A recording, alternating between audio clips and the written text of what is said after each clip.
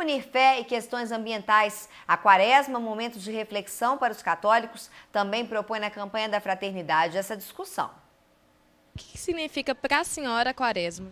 É um momento de penitência, reconciliação e uma preparação para a Páscoa do Senhor.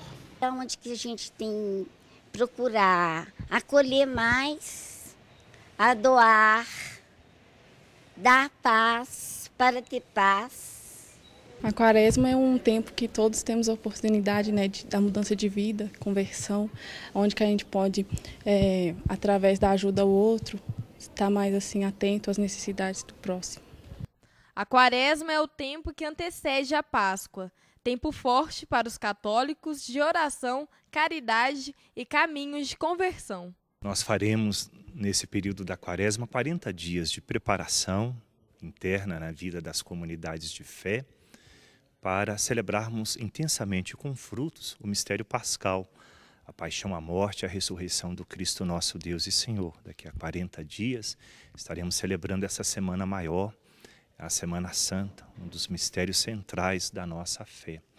A Quaresma é então um convite a todos nós a confiar e esperar no Senhor, certos de que Deus é rico em bondade e misericórdia, tem compaixão da vida de todo o seu povo.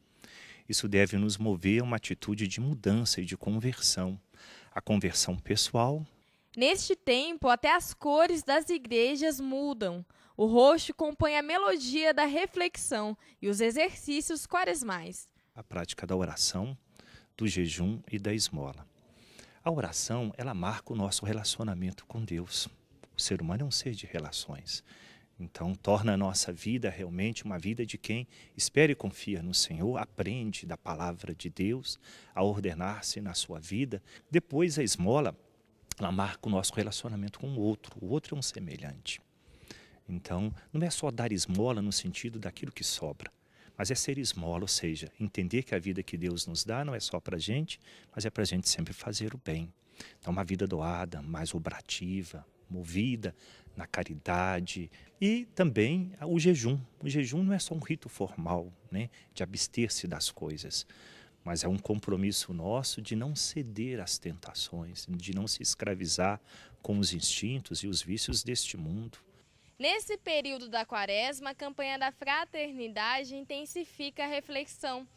O tema proposto é relacionado a fatores socioambientais. O bioma é mais uma vez defendido, por isso, espécies como essas, as quaresmeiras, relembram o momento litúrgico, mas também abrem as portas para a defesa de todas as formas de vida.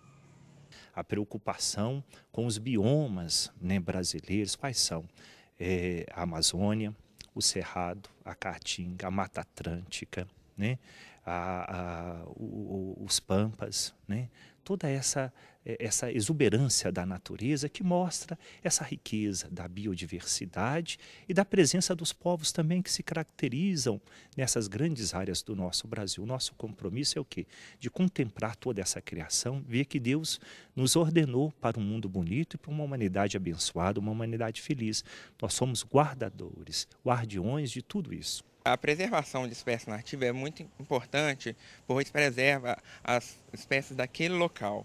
Se cultivamos espécies exóticas ou destruímos o habitat né, da, daqueles seres, seja plantas ou animais, é, a gente vai estar desfigurando o bioma e é, potencialmente estamos desequilibrando o ambiente. E para respeitar o meio ambiente, nada melhor do que entendê-lo na plenitude.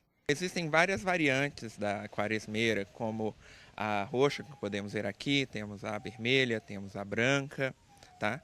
Todas pertencem à mesma espécie. Então, a, geralmente as espécies é, de seres vivos que possuem reprodução sexuada possuem ou períodos reprodutivos na qual elas estão aptas a reproduzir, ou é, são reprodutivos continuamente. No caso das quaresmeiras, né, podemos ver que é, na época da quaresma elas florescem como uma estratégia reprodutiva, tentando evitar assim a competição é, em outras espécies de plantas por polinizadores.